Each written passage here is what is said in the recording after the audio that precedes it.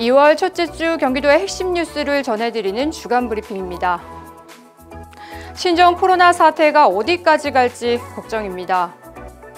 확산 방지를 위해 경기도는 이번 주 초강력 대응 방침을 연일 쏟아냈습니다. 격리 대상자가 격리를 거부하면 고발 조치와 강제 격리에 들어갑니다.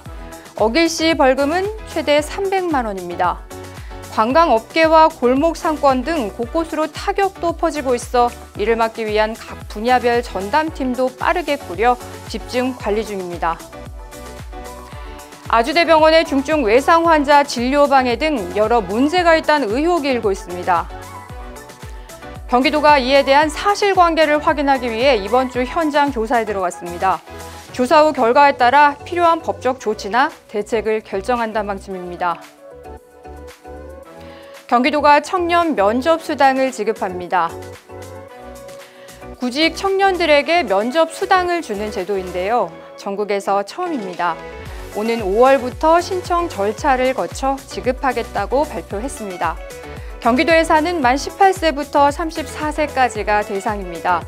올해 본 면접에 대해 1회 3만 5천 원, 최대 6회 21만 원까지 면접만 봐도 지역 화폐로 받을 수 있습니다.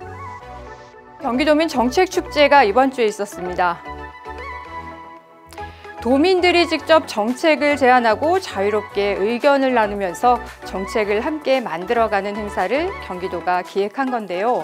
도민들이 공모로 선정한 16개 주제를 놓고 열띤 토론을 펼쳤습니다.